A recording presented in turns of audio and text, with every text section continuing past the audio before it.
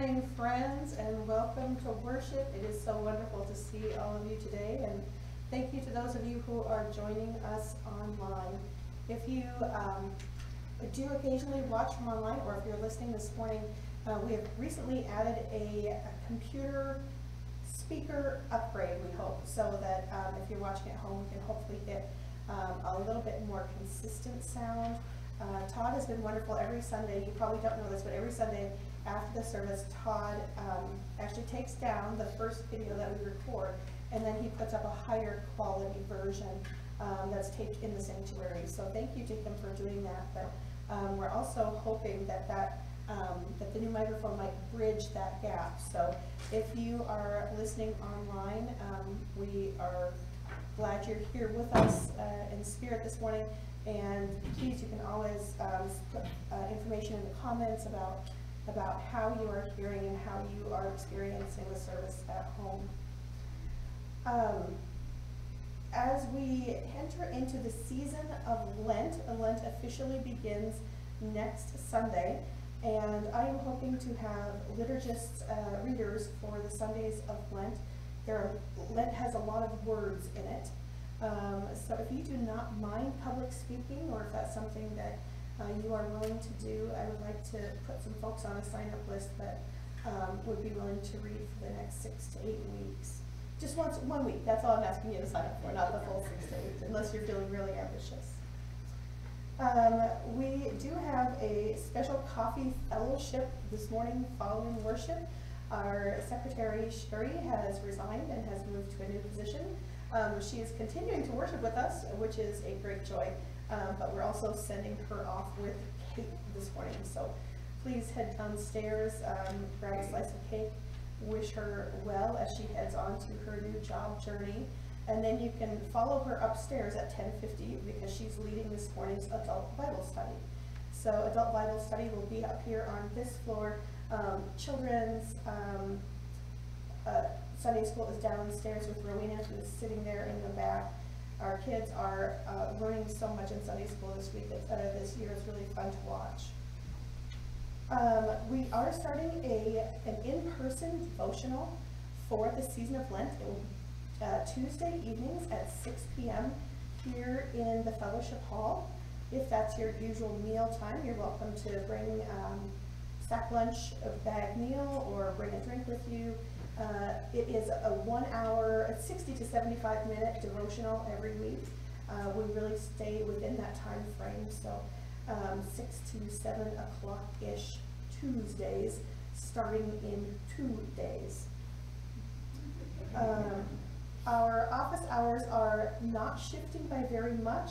Um, Todd Seaback is filling in for Sherry as, um, as we look for our next secretary. Office hours are Monday, Tuesday, Wednesday, eight to eleven thirty, and then Thursdays, eight to eleven. So, um, just a half hour shorter on Thursdays.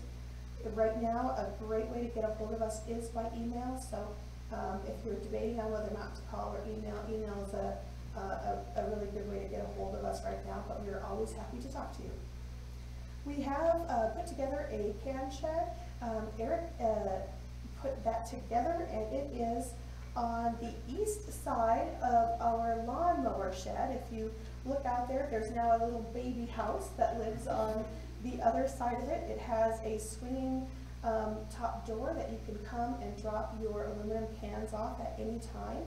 We are um, sharing that information with uh, First Presbyterian downtown if they ever want to come up this way and drop off cans. And we're also going to be sharing that information with our neighborhood.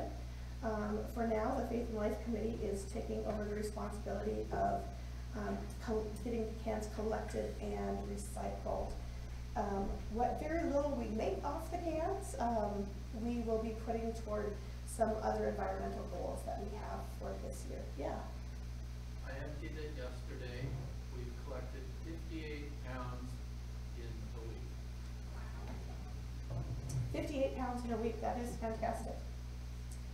Are we getting 20 cents a pound? 25. Hey, we're gonna be rich soon. That doesn't sound too bad, fifteen dollars for our first week, we, um, but also fifteen, uh, fifty-eight pounds that are not going into a landfill if people are not able to recycle at home. Thank you for doing that. We also are working on our pill bottle collection and cleaning. Um, we are, uh, continuing to collect bottles. Um, Millie there in the back is uh, taking point on some of that. If you have pill bottles at home that you would like to bring in for reuse, they must have a child safety cap on them and they must be translucent in color, so they can't be opaque. You have to be able to see inside the bottle. Um, yellow, orange, blue, green, um, doesn't matter what color it is, just has to be translucent with a child, uh, safety cap on it. Uh, please, if you're able, peel off the labels before they come, and we can't take bottles that have been Sharpie markered where we can't get the Sharpie off, but otherwise, bring them in and we will get them processed. We have an Ash Wednesday service coming up this Wednesday. There's a short soup supper beforehand at six thirty, followed by worship here in the sanctuary at seven P M. Uh, that is a brief service. It'll be between thirty and forty minutes and will include imposition of ashes with it. That's all I have for announcements, but that's probably plenty. Are there any that I've missed that you'd like to share this morning? Let us joyfully and prayerfully call ourselves to worship as we listen to this morning's prelude. Oh, nope, I lied. Sorry, you already did your prelude. What's that?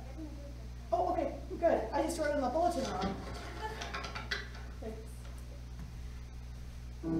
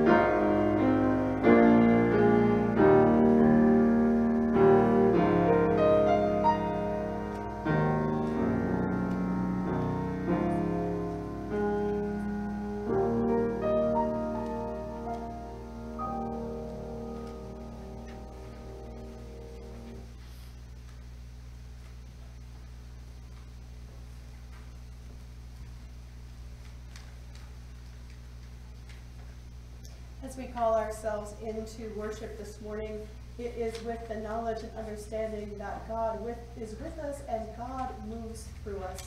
Would you please join me in our call to worship?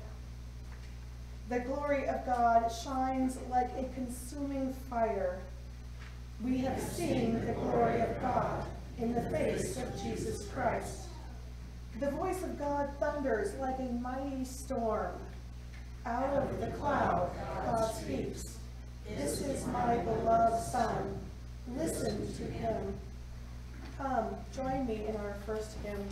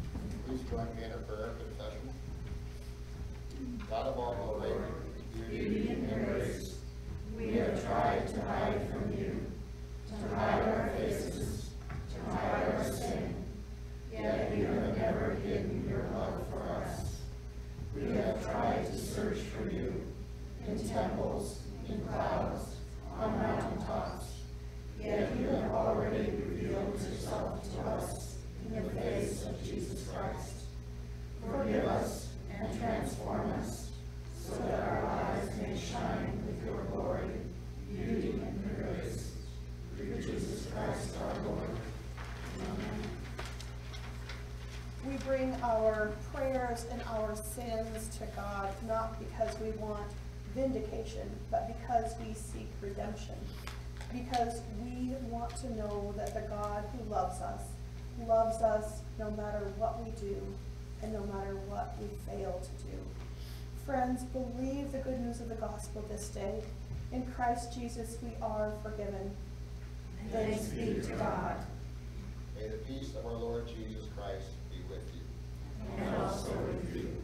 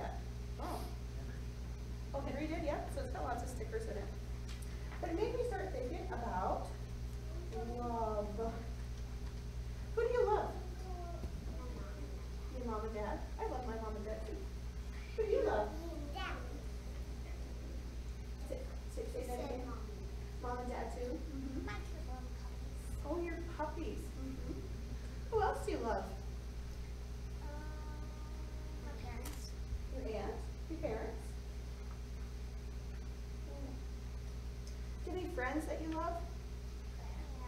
Yeah. Oh, that's so sweet. Eliza. And you love Eliza? Mm -hmm. Um, grandparents? Mhm. You already said pets. I've got a cat named Chevy at my house and we love Chevy. You want a cat? Just, just one more thing to love. Um, do you love your teachers? Mhm. Friends? Yeah.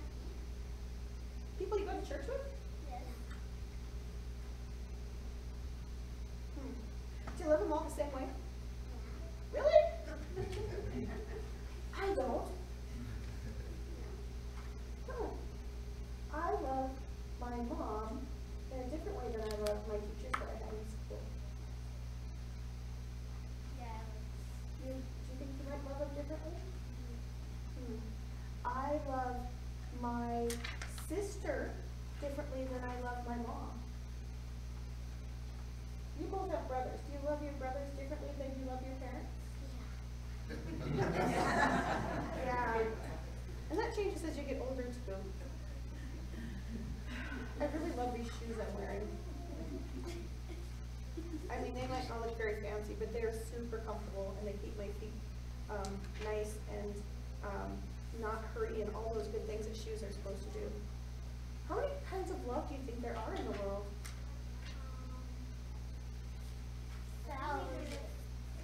You've heard of three kinds of love?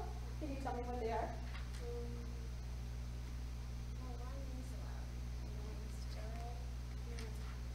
One's love and one's joy and one's happy.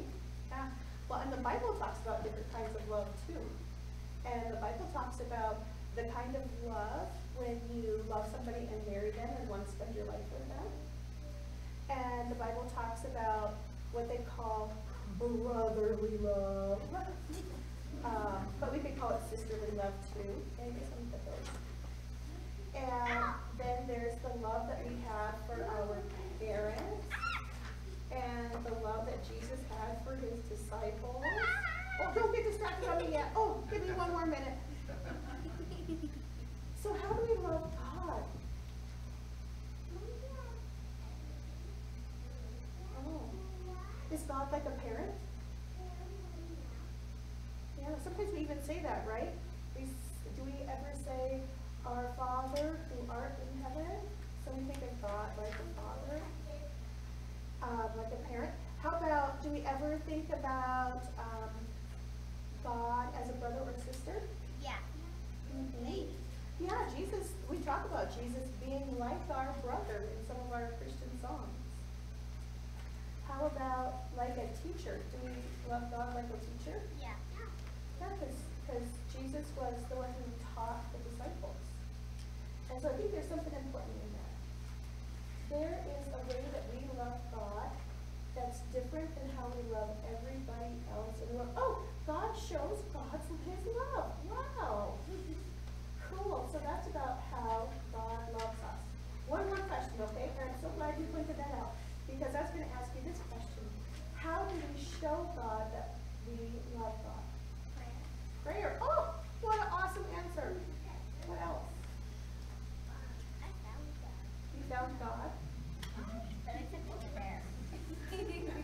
I'm glad that God's carried out in that book.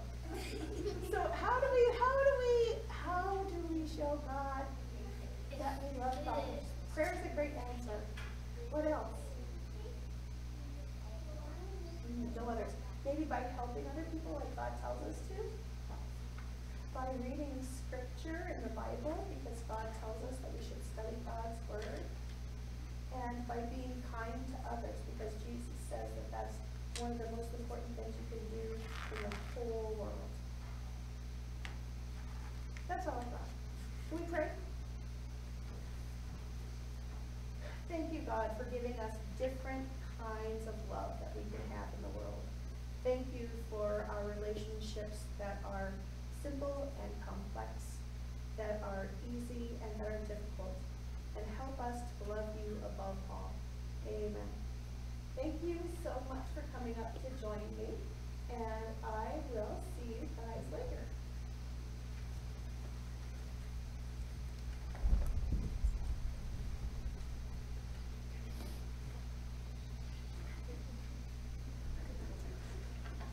While they were getting settled, I had a wonderful video I was going to show you this morning of how to sing this song, and I lost it.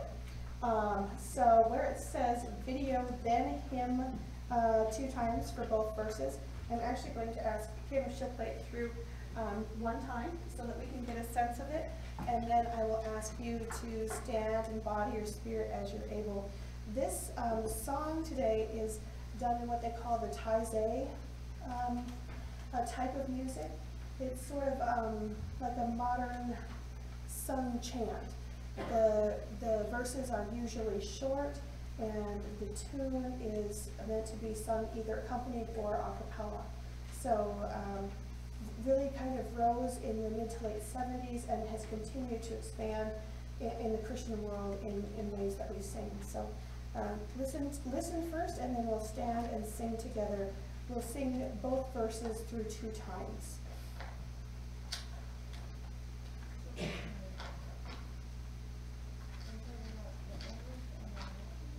Yes. Um, English, Latin, English, Latin. We'll try our Latin today and see how, how good we can do.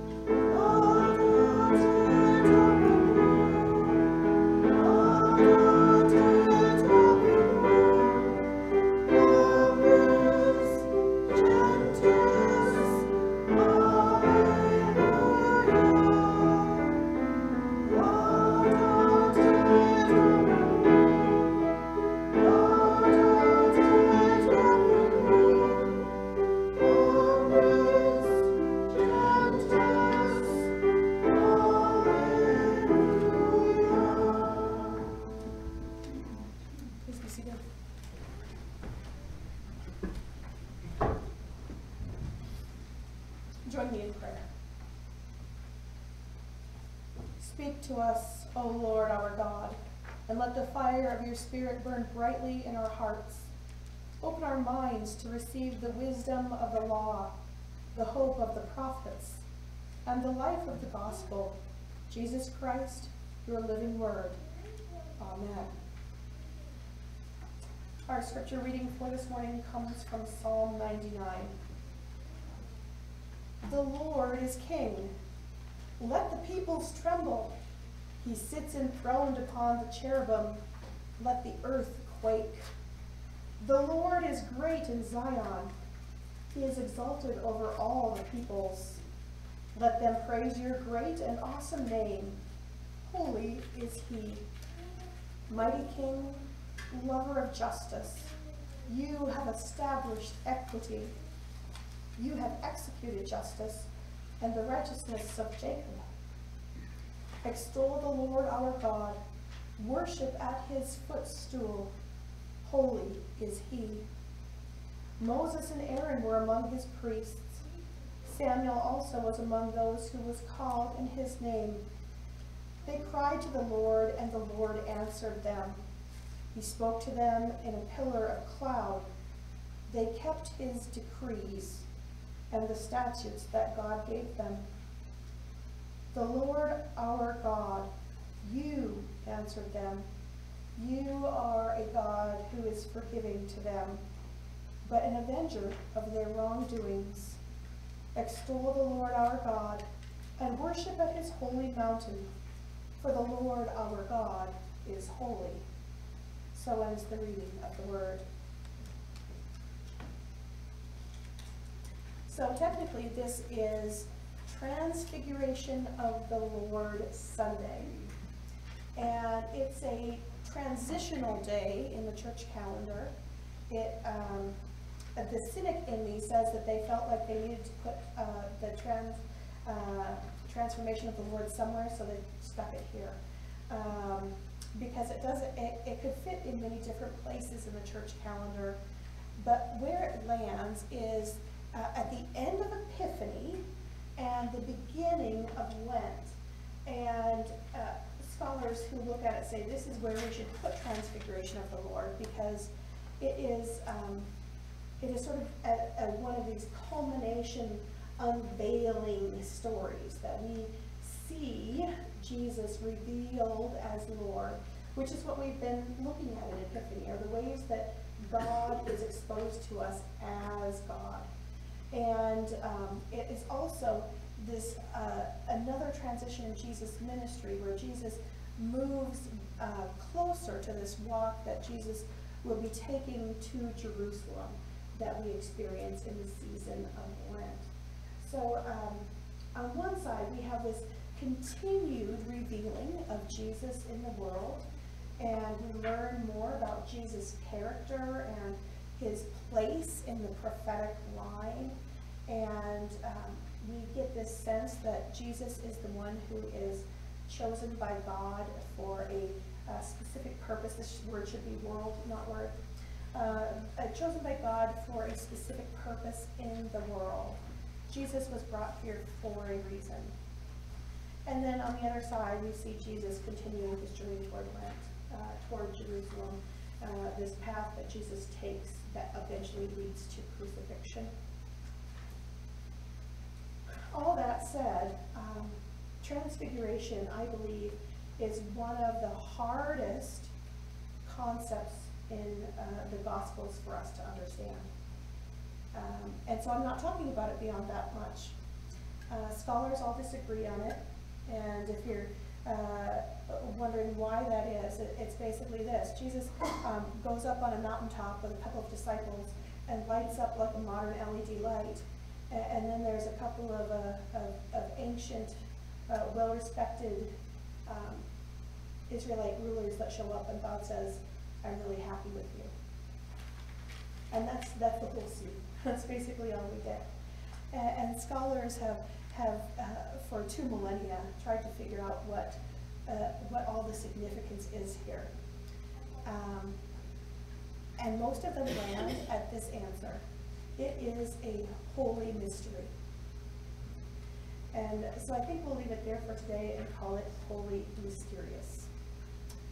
Um, but it is set um, alongside in the readings uh, that are paired in the in the, the lectionary texts uh, that we have in the church calendar. The Transfiguration of the Lord is paired with what we call the enthronement psalms. And uh, most of these enthronement psalms are some of the ones that you know as these like um, shorter snippet psalms. Uh, the psalm for this morning was only nine verses long. We get them, you know, um, probably as short as I think it's about six verses up to about 15 verses. And these enthronement psalms, um, you can see uh, the others that are within that genre, but they they have a specific purpose. And these enthronement psalms, what they do is they don't tell us anything new about scripture, which is often what we expect, right? Like we come to a scripture text and we expect that we will learn something new about the character of God or see something revealed in the character of God. Uh, but that's not the point of the enthronement psalms. Instead, the point of the enthronement psalms is to uh, solidify what we already know the ideas here are not unique or unfamiliar to us. So instead, um, what we are seeing are these are the things that, that we already know about God. And we are reinforcing them with the words that we say and the words that we hear. Uh, sort of like um, how we today do some of the same things every week. They are um, themes that we enforce, like the Lord's Prayer and uh, the Gloria Patri and, and our statements of faith. That's sort of um, maybe an equivalent to what these enthronement psalms are. They're a way of saying that we know who God is and we know how God operates in the universe. So what do we know? We know that the God of the Psalms is our God that it is this God, not another God, but this is the same God who brought the slaves out of Egypt, Moses, Aaron, and their sister Miriam. This is the same God that centuries earlier rescued God's people. It is not a new or different God. And we get this in, in verse 6, where it says, Moses and Aaron are among his priests, Samuel also among those who are called on his name. They cried to the Lord, and the Lord answered them. So this is um, establishing that this is the same God that has come down uh, through the centuries with the Israelite peoples, a God that is unchanged even as the generations rise and pass away. And um, when, when we see that the people cry out and God answers them, we learn something else about God's character. We um, solidify or remind ourselves again that God shows a willingness to act in the world on behalf of God's people. Just as God led Moses out of Egypt with the people who he brought from slavery, so this God is still active in the world today. This enthronement psalm uh, takes the um, takes the ancient history and reminds us that this is still in the here and now. While this is the God of the past, it is also the God of the current. It's an active and living God that listens to those who call upon the Lord. Okay, so that's, that's the first piece that we get. And then we have the established relationship, which is, uh, which is not unfamiliar to us. But it's important in this theme of enthronement because, again, it, it is tying the majesty of this God who created the universe to um, this small band of people who are often oppressed, who have no um, mighty army, no, um, no valiant uh, amount of resources. But this God is the same God that has established a relationship with them for forever.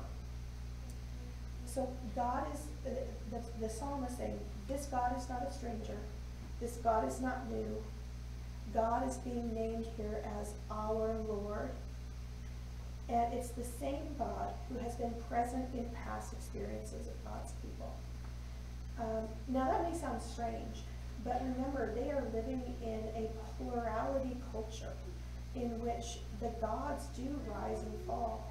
You know, we're talking about people who've been exposed um, to uh, a, a plethora of gods, and often when kings are god, kings are seen as gods, and so when you have the rise of a new king in a foreign nation, you have the rise of a new god.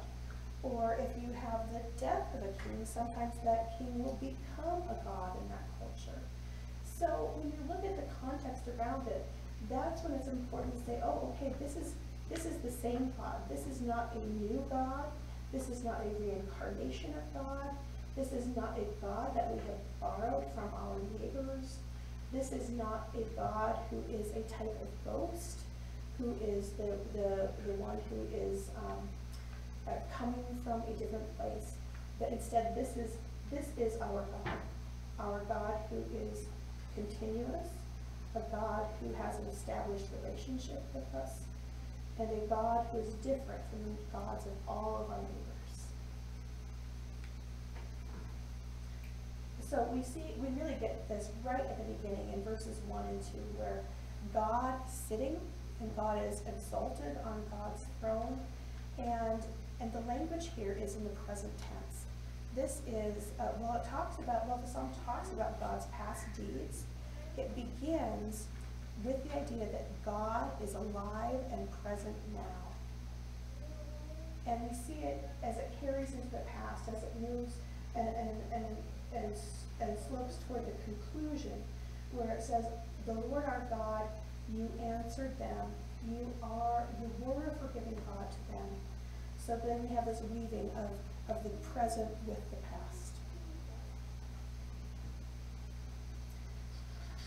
And this, this points us, um, where, where it all leads us, is that this is a, a, a worldwide scope of God. Uh, this understanding that the Israelites have about their God. It's so different than what their neighbors are experiencing because they are in these uh, dynasties in which kings become gods or strong rulers become the ones who are worshipped or gods can be killed by other gods, or they can fall away. Um, it, it's really, it's really quite unique in a, in a way that we forget when we are reading from an outsider.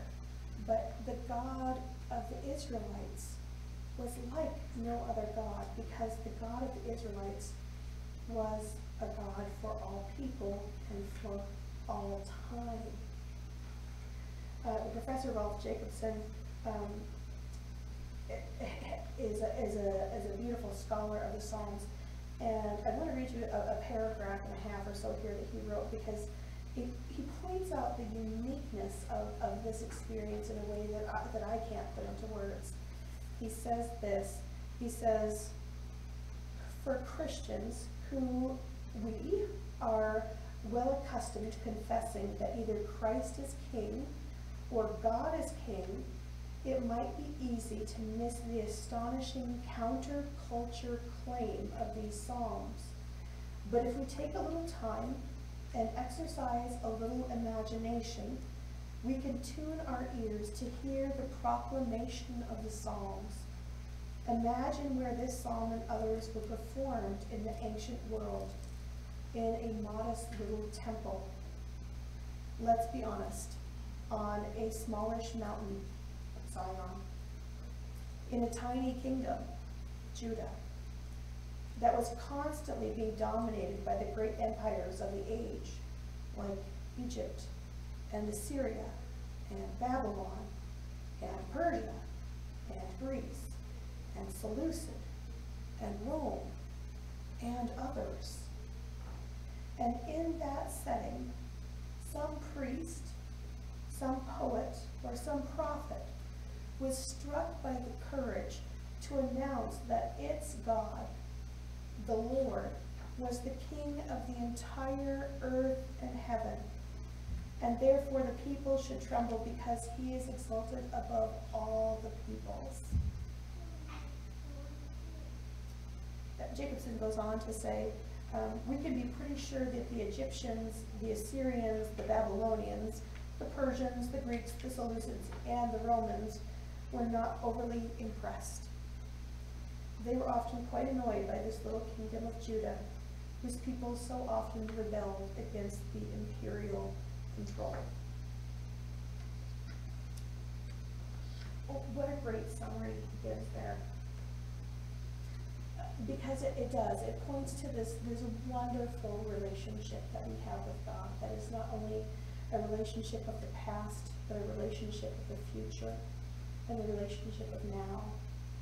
This enthronement psalm reminds us that our God, while a God of people who are small, our God is also the God of the entire creation upon which we live. So it leaves us with these conclusions. We praise a living God, and not just a living God, but a living God who has established a relationship with humankind that goes back farther than human history. This is a God who has done past good deeds for us and who we can trust and believe to do good deeds in our future. Good deeds in the future of the world and good deeds in the future of our own lives. And this God is the God of the universe and all things that are within it. And while others may try to obscure God's majesty through politics and war and manipulation and all the other things that can get in the way, while those other things may try to obscure God's majesty, we as Christians, we as inheritance of this psalm, know who God is. We know that this is the God of the universe, our unique God.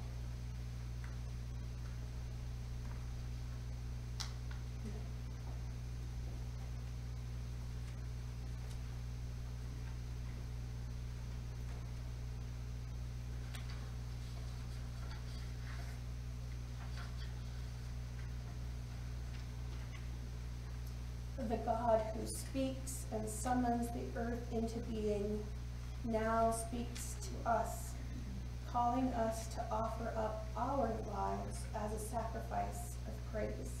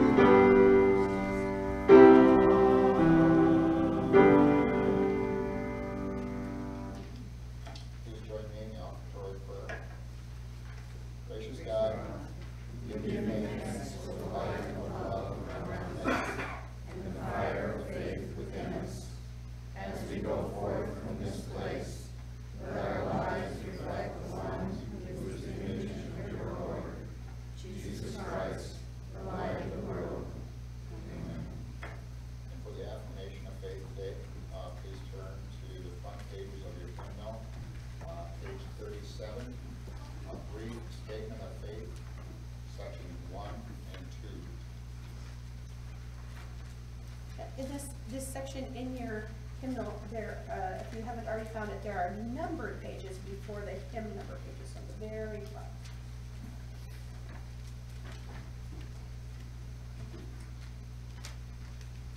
Let us say together what faith leads us to believe. In life, Life.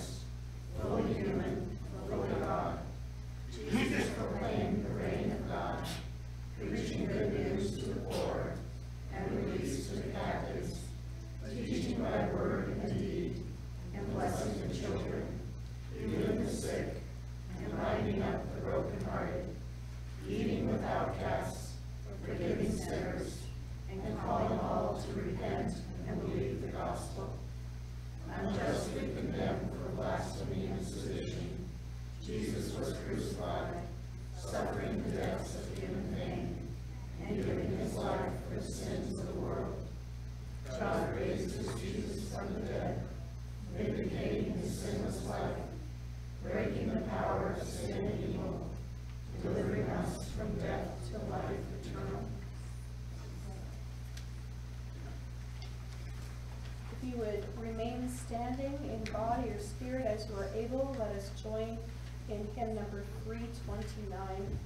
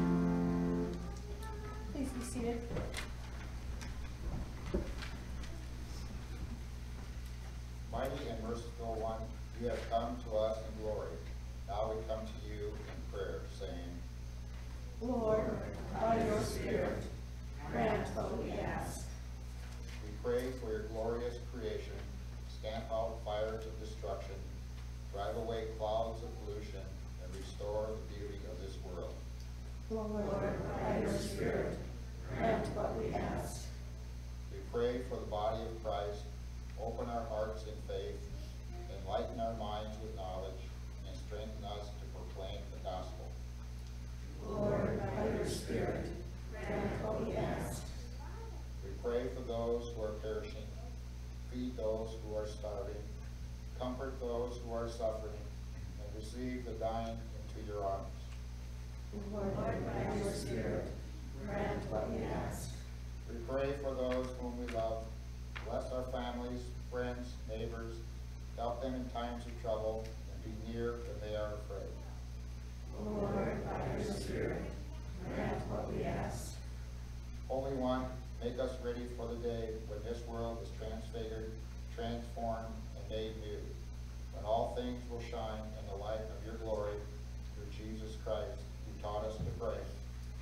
Our Father, who art in heaven, hallowed be thy name. Thy kingdom come, thy will be done, on earth as it is in heaven. Give us this day our daily bread, and forgive us our debts, as we forgive our debtors. And lead us not into temptation, but deliver us from evil. For thine is the kingdom, and the power, and the glory forever. Amen.